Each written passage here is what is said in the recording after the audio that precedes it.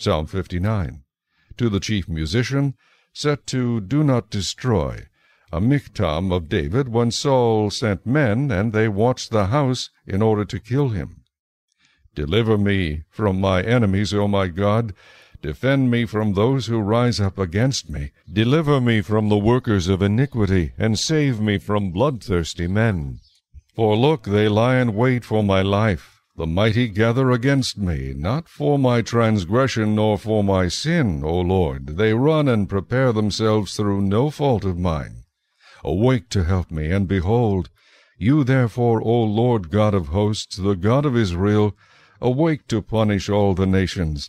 Do not be merciful to any wicked transgressors. Selah. At evening they return, they growl like a dog, and go all around the city. Indeed, they belch with their mouth. Swords are in their lips, for they say, Who hears? But you, O Lord, shall laugh at them. You shall have all the nations in derision. I will wait for you, O you, his strength. For God is my defense. My God of mercy shall come to meet me. God shall let me see my desire on my enemies. Do not slay them, lest my people forget. Scatter them by your power, and bring them down, O Lord our shield.